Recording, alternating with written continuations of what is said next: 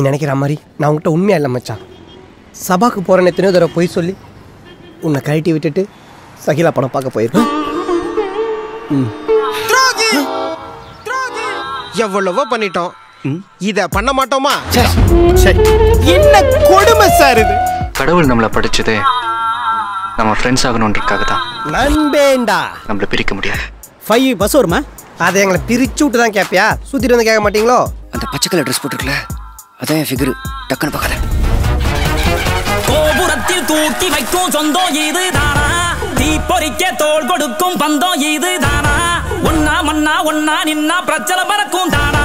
தேடி வந்த சாமி தானா ஜிகிரி தோஸ்து.